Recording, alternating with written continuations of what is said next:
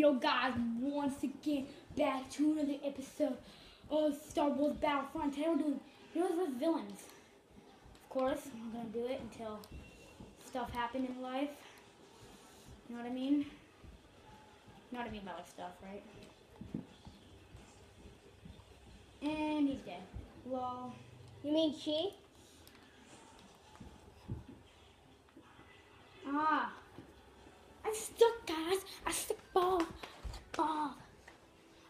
I. Okay, let's go ahead and do some cool stuff. Uh, actually, let's see for Darth Vader. Because if you are, stuff will be God! Right? So we will God. Darth Vader! Or Emperor Palpatine! Or somebody, at least. You want to be Boba Fett sometimes? You know?